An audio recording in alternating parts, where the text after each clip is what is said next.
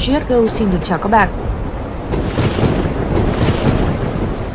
Vào lúc 17 giờ, ngày 27 tháng 3 năm 1977, bầu trời tại hòn đảo Tenerife của Tây Ban Nha thật u ám, trần mây thấp, có mưa nhỏ và sương mù dày. Trên đường băng sân bay Tenerife, chiếc máy bay KLM của hãng hàng không quốc gia Hà Lan mang số hiệu 4805 đang chuẩn bị xuất phát. Cách đó không xa, lờ mờ sau đám mây dày, chiếc Pan Am 1736 của Hoa Kỳ vẫn đang trên đường băng và theo hướng ngược chiều với KLM. Cả hai con chim sắt khổng lồ đều là Boeing 747, một trong những dòng máy bay lớn nhất thế giới tại thời điểm đó. Cuộc gặp gỡ giữa anh em nhà Boeing tại sân bay Tenerife tưởng chừng như sẽ là một kỷ niệm đẹp, nhưng không ai ngờ rằng số phận đã được an bài. Nguồn cơn của mọi chuyện bắt đầu vào khoảng lúc 13 giờ 15 phút ngày 27 tháng 3 năm 1977, khi có một quả bom bất ngờ phát nổ khiến 8 người bị thương tại một sân bay quốc tế có tên là Gran Canaria ở Tây Ban Nha, vốn là điểm đến chung của cả hai chuyến bay Pan Am 1736 và KLM 4805. Không lâu sau đó, sân bay này nhận được một cuộc điện thoại nặc danh cảnh báo rằng vẫn còn một quả bom thứ hai đang trực chờ phát nổ, khiến cho tình hình vô cùng cấp bách và hoảng loạn. Các cơ quan hàng không đã ra quyết định tạm thời đóng cửa sân bay sau khi nhóm khủng bố cho nổ quả bom đầu tiên. Do đó, toàn bộ chuyến bay đến Gran Canaria đều được chuyển hướng đáp ở sân bay Tenerife, lúc đó có tên là Los Rodeos. Thoạt đầu, Pan Am 1736 cho rằng họ vẫn đủ nhiên liệu để bay vòng tròn trong 2 giờ nữa, cho đến khi có thể hạ cánh an toàn tại Gran Canaria. Tuy nhiên, như số phận đã an bài, yêu cầu bị từ chối và phi hành đoàn cùng với các hành khách của Pan Am 1736 được lệnh phải chuyển sang sân bay Tenerife. Trên thực tế, ít nhất 5 máy bay lớn được chuyển hướng đáp tại Tenerife đã là một sự quá tải. Mật độ máy bay nhiều như vậy đối với một sân bay địa phương như Tenerife vốn chỉ có một đường băng và một đường lăn chính chạy song song, nối liền nhau bởi bốn đường lăn nhỏ ở giữa đã khiến cho sân bay này không đủ chỗ chứa. Cũng cần phải nói thêm rằng, trong khi đường băng là nơi dành cho máy bay khi cất và hạ cánh, thì đường lăn có thể hiểu là tuyến đường sử dụng cho máy bay di chuyển từ khu vực này đến khu vực khác của cảng hàng không theo một đường đã được chỉ định sẵn. Do đó, sự quá tải này dẫn đến việc những chiếc máy bay bị chuyển hướng bắt buộc phải đậu trên cả đường lăn chính và khiến nó không thể sử dụng để điều dẫn máy bay. Thay vào đó, các chuyến bay đi sẽ phải chạy trực tiếp trên đường băng để quay đầu và cất cánh. Quá trình này được gọi là backtrack Ít lâu sau, các cơ quan hàng không đã cho phép mở lại sân bay Gran Canaria khi mối đe dọa khủng bố tại đây đã được xử lý. Lúc này, Pan Am 1736 đã sẵn sàng để cất cánh từ Tenerife quay về Gran Canaria. Tuy nhiên, một lần nữa lại quá nhỏ cho Pan Am vì cách đó chỉ khoảng 3,7 mét, một khoảng cách quá hẹp và không an toàn. Chiếc cây LM 4805 đang tiếp nhiên liệu nên đã chắn lối vào đường băng và khiến cho Pan Am không thể thực hiện việc cất cánh. Quá trình bơm nhiên liệu này kéo dài trong khoảng 35 phút sau đó hành khách của KLM 4805 được mời quay trở lại máy bay.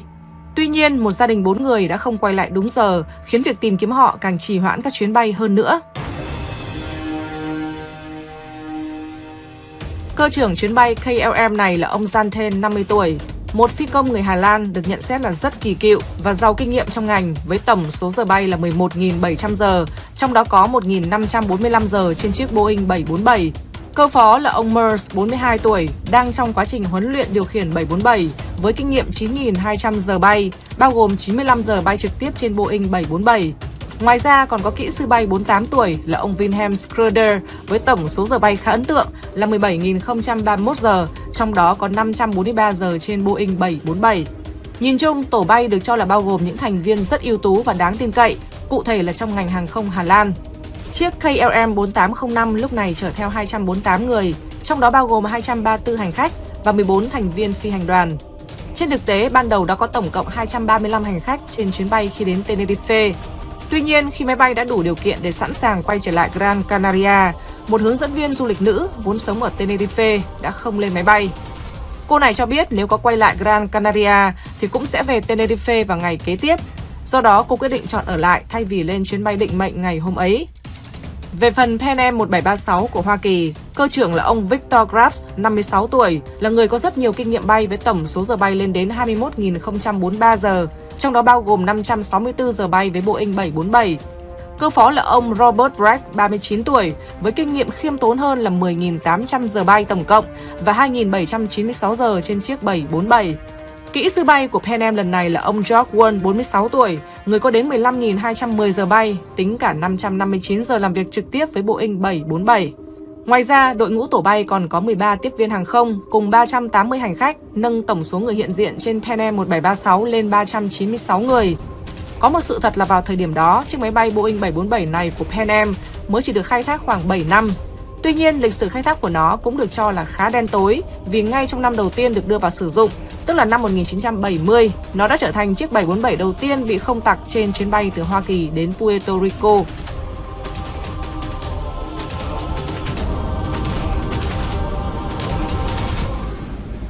Càng về chiều tối, thời tiết tại sân bay Tenerife càng chuyển biến xấu. Mưa phùn, gió to cùng với địa hình khá cao tại nơi này cũng khiến cho sương mù xuất hiện dày đặc và khiến tầm nhìn giảm xuống thấp hơn 100 mét. Chính điều kiện thời tiết không thuận lợi như thế này được cho là một trong những nguyên nhân góp phần rất lớn trong đại cục của hai chuyến bay. Gần 17 giờ chiều, mọi thứ đã hoàn tất và sẵn sàng. Hai chiếc máy bay bắt đầu khởi động các động cơ để chuẩn bị cho quá trình cất cánh. Vì máy bay của KLM ở vị trí ngoài cùng và gần với đường băng hơn, nó sẽ được chạy đà xuất phát trước, còn Pan Am sẽ đi theo sau.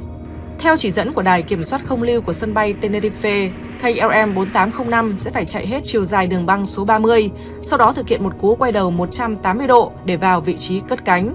Sau khi hoàn tất, họ sẽ báo cáo và chờ lệnh từ đài không lưu. May mắn thay, dù thời tiết không mấy thuận lợi, máy bay KLM đã thực hiện cú quay đầu với tầm nhìn tốt. Sau khi đã vào vị trí trên đường băng 30, có một đám mây cách đó khoảng 900 mét đang trôi về phía máy bay với vận tốc 6 mét trên giây. Mây mù dày đặc, mưa và gió lớn cùng với cơ sở hạ tầng không đủ tốt của sân bay Tenerife đã khiến tầm nhìn của cả Pan Am và KLM cũng như của đài kiểm soát không lưu đều rơi vào bị động. Ít phút sau, Pan Am 1736 nhận lệnh từ đài kiểm soát không lưu bắt đầu xâm nhập đường băng và theo sau chiếc KLM. Tuy nhiên, chiếc Pan Am sẽ không chạy dọc và thực hiện cú quay đầu ngay trên đường băng như đã được chỉ định với KLM, mà ngược lại nó sẽ thoát khỏi đường băng bằng cách rẽ trái vào đường lăn nhỏ thứ ba, sau đó rẽ phải một lần nữa để chạy lăn trên đường lăn chính nằm song song. Tại đây, nó sẽ phải chờ đến lượt sau khi chiếc KLM cất cánh thành công. Có một sự thật là, ngoài những điều kiện khách quan về thời tiết tại nơi này, thì cả hai máy bay cũng phải nặng gánh với việc tín hiệu radar không ổn định ở sân bay, khiến cho việc giao tiếp giữa tổ bay và đài kiểm soát không lưu trở nên rất khó khăn. Theo dữ liệu từ hộp đen máy bay, do tín hiệu không tốt, sau khi nhận điều dẫn từ đài không lưu, tổ bay của Pan Am 1736 đã tỏ ra khá lúng túng. Trong khi cơ trưởng Krabs cho rằng họ nên rẽ vào đường lăn số 1, kỹ sư bay lại nghĩ kiểm soát viên không lưu yêu cầu họ rẽ vào đường lăn số 3, bởi trong tiếng Anh nó được phát âm na ná như nhau là third và first. Tuy nhiên, cơ phó cũng cho rằng đài kiểm soát yêu cầu họ rẽ vào đường lăn số 3, bởi vì để rẽ vào đường lăn số 1, họ sẽ phải thực hiện một góc rẽ 90 độ, rõ ràng là quá cồng kềnh và chưa hợp lý. Do đó, để chắc chắn hơn, cơ phó Penem đã chủ động hỏi lại đài không lưu một lần nữa rằng có phải họ sẽ rẽ ở đường lăn số 3 hay không. Quả nhiên, ngay lập tức tổ bay của Penem nhận được khẳng định chắc nịch từ họ. Đường thứ ba, thưa ngài, 1, 2, 3, 3, đường thứ ba. Trong màn sương mù dày đặc, đồng thời không có bản đồ sân bay, cả ba thành viên tổ bay bao gồm cơ trưởng, cơ phó và hoa tiêu của Pan Am 1736 đã khó khăn lắm mới xác định được đường lăn số 1, số 2, nhưng không hề có dấu hiệu nào chỉ dẫn đường lăn số 3 nằm ở đâu. Trên thực tế như đã đề cập trước đó, cơ sở hạ tầng của sân bay Tenerife đã lâu không được tu sửa và nâng cấp, khiến cho vạch sơn của các đường lăn đã phai gần hết mà không được sơn lại, trong đó có cả chữ C3 của đường lăn số 3, hầu như chẳng còn nhận ra kể cả khi trời quang mây tạnh. Theo dữ liệu từ hộp đen, tổ bay của Pan Am 1736 đã xác định được hai đường lăn phụ đầu tiên là C1 và C2. Tuy nhiên, cuộc thảo luận có vẻ ngập ngừng và nghi hoặc giữa cơ trưởng, cơ phó và kỹ sư bay cho thấy rằng họ đã không tìm được đường lăn số 3, tức là họ đã bỏ lỡ đường lăn mà lẽ ra máy bay phải rẽ vào. Điều này xảy ra dẫn đến một sự trùng hợp vô cùng tai hại khác. Vì đã bỏ lỡ đường lăn số 3, họ quyết định rẽ vào đường lăn gần nhất mà họ vừa nhìn thấy, đó là đường lăn C4. Tuy nhiên, mấu chốt là các thành viên tổ bay không hề biết họ đã mắc sai lầm. Trên thực tế, để rẽ vào đường lăn phụ số 3, chiếc Boeing 747 phải thực hiện một góc rẽ 148 độ, hướng thẳng vào nhà chứa máy bay vốn đang rất đông đúc Tại điểm cuối đường lăn C3, nó phải tiếp tục rẽ phải một góc 148 độ, rồi lăn trên đường lăn chính để về điểm đầu của đường băng. Trong khi đó, đường lăn số 4 chỉ yêu cầu hai góc rẽ 35 độ. Trong tình huống như vậy, khi đặt lên bàn cân so sánh, không quá khó hiểu khi tổ bay của Pan Am 1736 đã không phát hiện ra rằng họ đã mắc lỗi. Về phía chiếc KLM, sau khi quay đầu thành công và vào vị trí xuất phát, cơ trưởng chuyến bay đẩy cần lái tới phía trước và máy bay bắt đầu di chuyển. Tuy nhiên, cơ phó đã kịp thời nhắc nhở chung rằng họ chưa có lệnh cất cánh từ đài không lưu. Ngay lập tức, cơ trưởng Zanten trả lời với một thái độ được cho là khá ung dung và kinh nghiệm. Tôi biết rồi, hỏi lại đi. Cơ phó MERS đã chủ động liên lạc với đài kiểm soát không lưu và báo cáo KLM 4805 sẵn sàng cất cánh, hiện đang đợi lệnh. Sau đó, KLM được hướng dẫn đường bay sau khi cất cánh. Rẽ phải sau khi cất cánh, được phép leo lên độ cao 9.000 feet.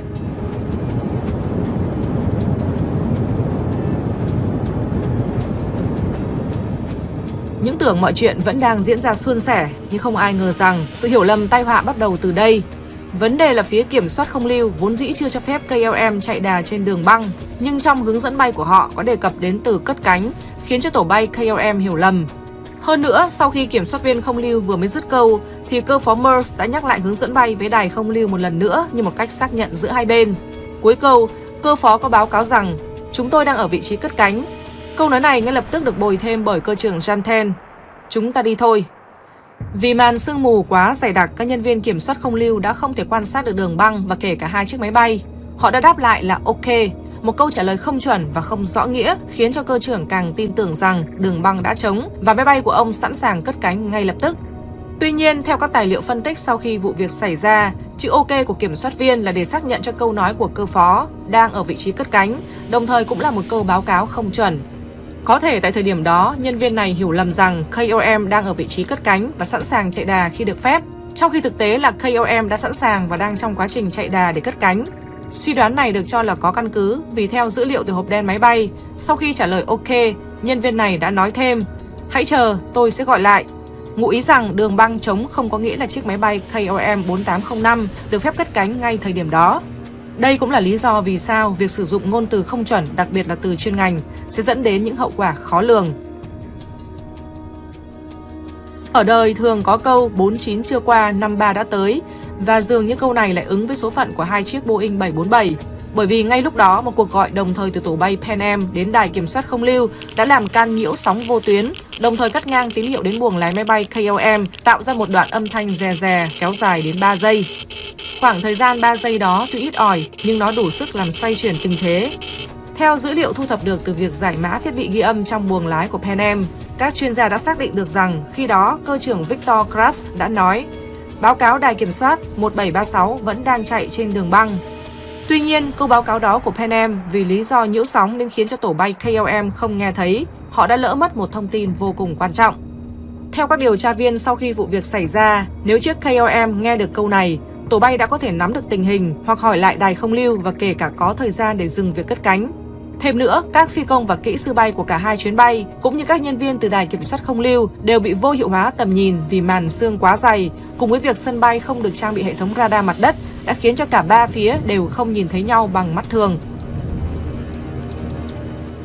Chỉ 2 giây sau đó, trong lúc chiếc KOM đã bắt đầu tăng tốc chạy đà trên đường băng để cất cánh, tổ bay của họ nghe thấy đài kiểm soát không lưu yêu cầu Pan Am 1736 báo cáo khi đã ra khỏi đường băng.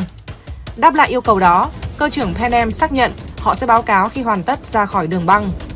Đến đây, các thành viên phi hành đoàn của KLM đã bắt đầu đọc được tình huống. Họ nhận ra rằng có vẻ như đường băng mà họ đang chạy đà để cất cánh vẫn còn một chướng ngại vật là Pan Am 1736. Kỹ sư bay của KLM đã tỏ ra nghi ngại khi ông hỏi cơ trưởng Zanten có phải Pan Am vẫn chưa ra khỏi đường băng hay không. Đáp lại câu hỏi, cơ trưởng Zanten đã trả lời mạnh dạn, ừ đúng và tiếp tục điều khiển máy bay cất cánh. Chiếc KLM lướt đi xé gió với tốc độ 260 km h Theo hộp đen, cơ trưởng Grabs của máy bay Pan Am đã hét lên rằng nó kia kìa khi ông nhìn thấy đèn báo hạ cánh của máy bay KLM qua màn sương, trong khi máy bay của ông đang tiếp cận đường lăn C4. Nhận thấy chiếc KLM đang tiếp cận với tốc độ cất cánh, cơ trưởng Krabs đã thốt lên trong hoảng hốt. Trong cơn tuyệt vọng và sụp đổ, cơ phó Robert Bragg đã hét lên liên tục, đi ra. Tổ bay Pan Am đã cố gắng hết tốc lực và rẽ thật nhanh sang trái, lao lên bãi cỏ nhằm tránh va chạm. Nhưng mọi thứ đã quá muộn. Chiếc KLM đang lao tới với một mức độ quá khủng khiếp như một con mãnh thú không gì có thể ngăn cản được. Và ngay sau đó, cơn ác mộng đen tối của ngành hàng không chính thức trở thành sự thật. Vụ va chạm đã phá hủy hoàn toàn hai chiếc máy bay vốn được bơm đầy nhiên liệu trước đó. Chiếc KLM bắt lửa ngay tức thì, khiến toàn bộ 248 người hiện diện trên chuyến bay đều thiệt mạng, bao gồm 234 hành khách và 14 nhân viên phi hành đoàn. Về phía Pan Am đã có tổng cộng 335 trên 396 người thiệt mạng, bao gồm 326 hành khách và 9 thành viên phi hành đoàn. Số người may mắn sống sót sau tai nạn là 61 người, trong đó có 56 hành khách và 5 nhân viên phi hành đoàn, bao gồm cả hai phi công và kỹ sư bay.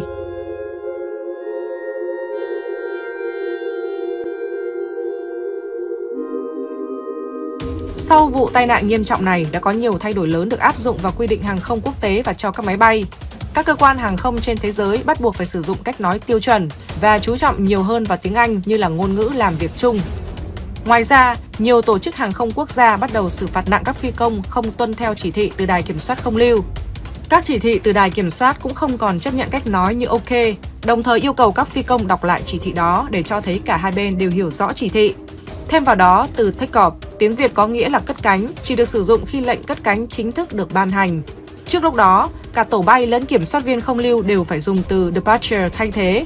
Ngoài ra, mối quan hệ thứ bậc giữa các thành viên tổ bay được bãi bỏ, thay vào đó là nhấn mạnh tầm quan trọng của việc phối hợp giữa các thành viên để đưa ra quyết định cuối cùng.